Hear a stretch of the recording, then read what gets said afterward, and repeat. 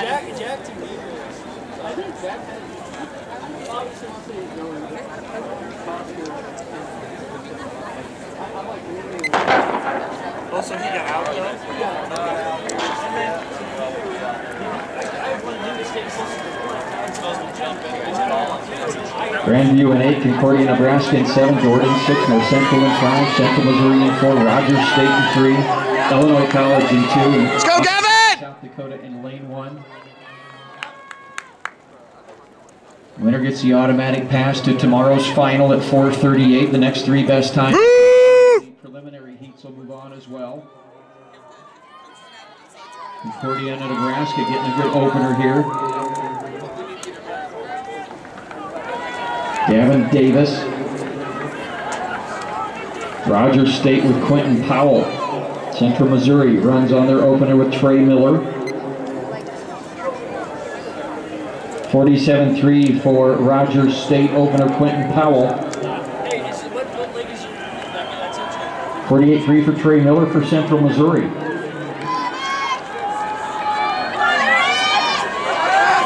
Rogers State. Tyvon Allen runs for Rogers State out front, Central Missouri. Scoletti. Central Missouri was fifth a year ago. They were eighth in Division II outdoor.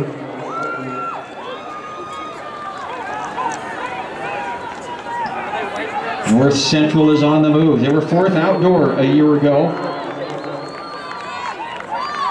North Central with K.O. Finley on this leg, and he's got him back in contention. Great pass. Five teams right up there in the mix.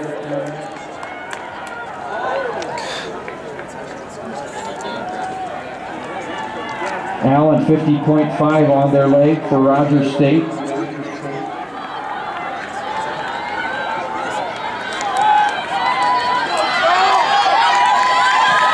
Rogers in North Central, Central Missouri.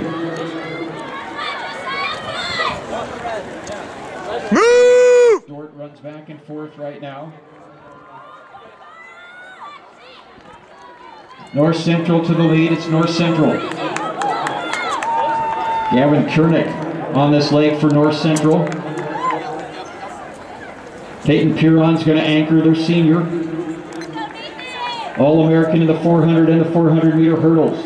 The runner-up indoor in the 400 meters. The runner-up on their distance medley relay team, he's run 47.7.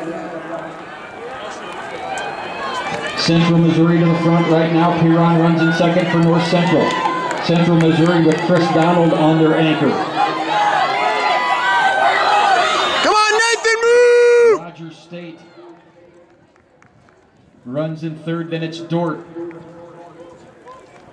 Central Missouri, North Central. And it comes down to this, the end of the afternoon session. Central Missouri, North Central with Piron, the All-American, and he goes for it as they come to the finish, and it's North Central.